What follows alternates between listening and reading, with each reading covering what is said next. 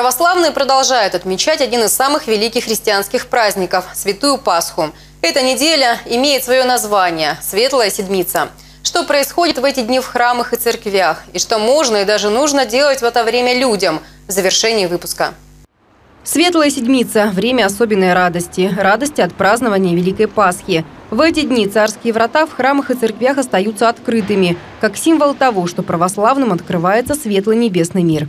Каждый день в храме совершается пасхальное богослужение и крестный ход вокруг храма. И в течение всей седмицы мы прославляем воскресшего Христа. То есть седмица, она как один день Пасхи становится. Сегодня в храм Архангела Михаила пришли ученики православной гимназии помолиться и позвонить в колокола. Ведь Светлую Седмицу называют еще и звонильной. Только раз в году, в первую неделю после Пасхи, подняться на колокольню может любой желающий.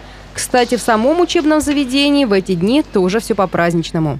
Все в гимназии, и учителям, и друг другу дети не говорят «здравствуйте», все говорят «Христос воскресе» и отвечают «воистину воскресе». Вместо утренней молитвы читаются часы Святой Пасхи, даже не читаются, а поются, поскольку у нас каждый второй ребенок – это хорист, и да и просто музыкально одаренный ребенок, поэтому все поют, и это чувствуется в одежде даже, все в белом, в красном, в светлом, таком радостном. В трапезной ощущается, потому что везде крашеные яйца, куличи, конфеты, варенье, там все то, чего были дети как бы, ну, лишены, можно сказать, во время поста.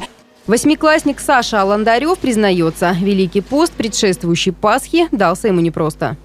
Перед Пасхой, ну, мы постимся и, в общем, готовимся очень сильно, молимся каждый день.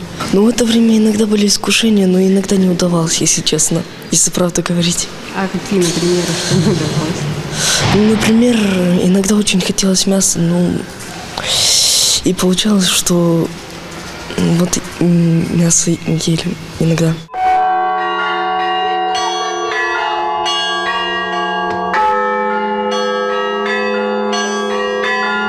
Подниматься на колокольню можно каждый день до 5 часов вечера.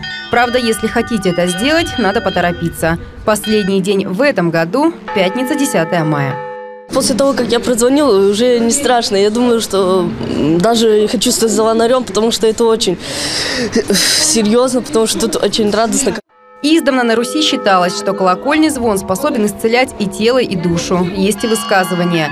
Храм – это молитва в камне, икона – это молитва в красках, а колокол – молитва в музыке.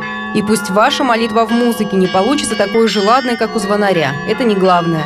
Главное, что вы от души на всю округу возвестите благую весть о том, что Христос воскрес. Ольга Попова, Александр Иванов. Новости нашего города.